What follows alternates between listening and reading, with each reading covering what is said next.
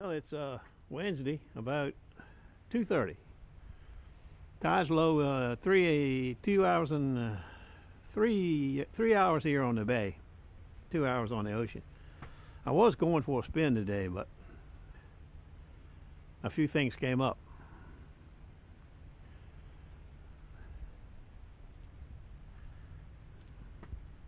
That's one of them. I went for a spin yesterday, didn't carry my camera, just to see what it looked like after that big storm we had.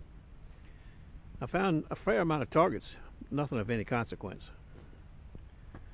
I ran into the guru. I'll add the pictures at the end of this video. And here's what else I got tied up on. Fish house knives. And then a lady called me with two pair of pinkers. And I go pick them up. This car's relatively new. An old pair of Weiss. These are old. These, she said these were her mother's. They just need a little cleaning up. I think they'll be okay.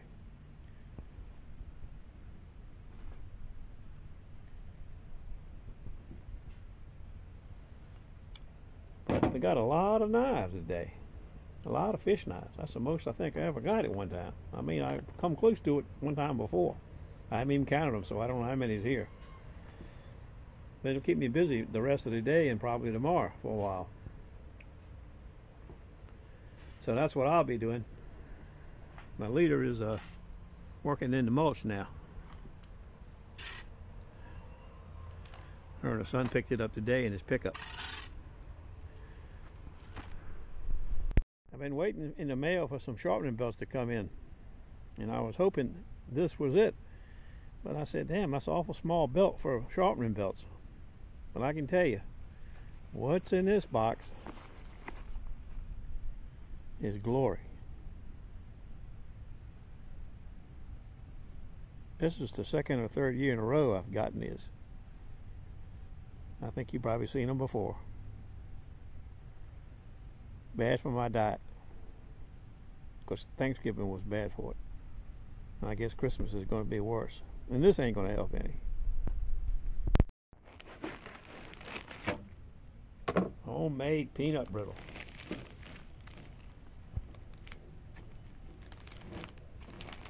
Cashew peanut brittle.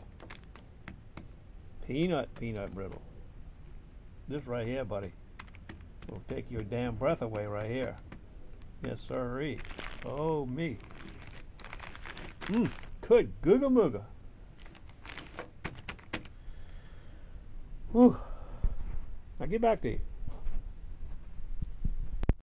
Got my fish knife soaking in some bleach. Man, they get, they're rough tickets. The gig master went to Sandbridge yesterday. He called me. He said, Max, I got a 14K and a silver ring and a lots of clad. Well, I ain't driving to Sandbridge, it's like 35 miles. But I did, like I said, I went out front here and dug around a while. There was some targets around. Just no consequence of anything great. Uh, they're all out today. Uh, I don't know about the Mumbles man, but Beaver's out. Uh, Gigs at 13th Street. He sent me some pictures a minute ago. It's got a nice, well, it looks like it was a fairly nice cut down that way yesterday, but it's kind of fell back a little bit today. Might even sanded in some according to his report. But they're all down there hunting for something. So maybe we'll get a report we can add to the end of this video. I know Beaver just found a little silver cross. And the guru was headed down. So there's some activity. It's uh it's in the high 40s today.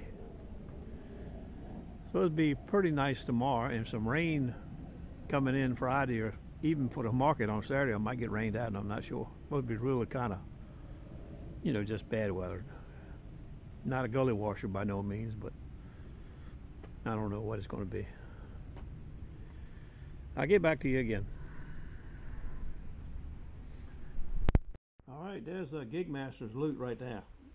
You got a trifecta. You got a silver ticket, a titanium, he thinks, and a 10K with fake ice, CZs.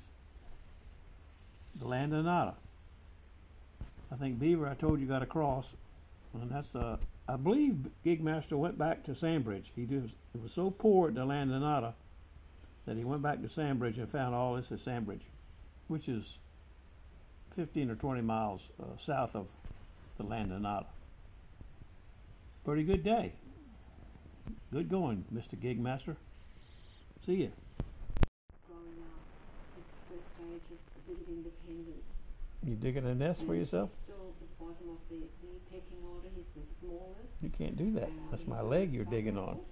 Uh, the most fragile, and he's still my baby.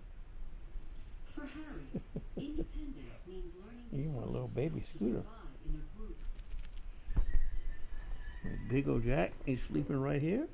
The Indian. But for where the Indian is? There's Mama over there.